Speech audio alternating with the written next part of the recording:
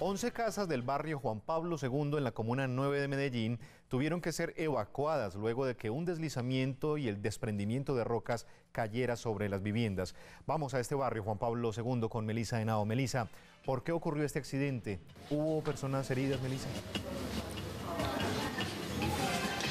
Hola, ¿qué tal? Saludo para usted y para todos los televidentes. Pues según las autoridades confluyen varios aspectos. La inestabilidad del terreno, algunas técnicas de construcción y por supuesto las lluvias de las últimas horas. Por fortuna, en este incidente no hubo personas lesionadas.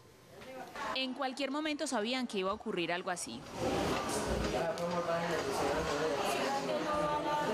El día de antier cayó primero un derrumbe a las dos y media de la mañana, ya enseguida a las 4 de la mañana, solamente tapó la parte de las escalas.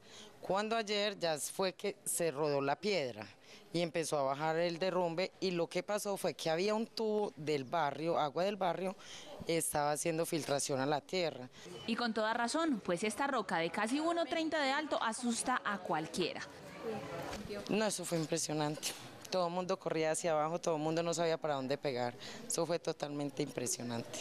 Es bastante apremiante porque de todas maneras son personas que tienen niños, ¿cierto? Y usted sabe que los niños son los que más, por los que más uno se preocupa, porque son los que salen a, jugar, mira el sector cómo quedó, entonces uno tiene que estar pendiente de que los niños no salgan a jugar, porque ya, pues así uno queda con susto.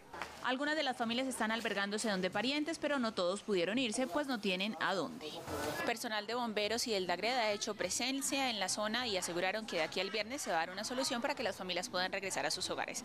Me despido desde el barrio Juan Pablo II, sigan ustedes con más en Hora 13 Noticias, cubrimiento total.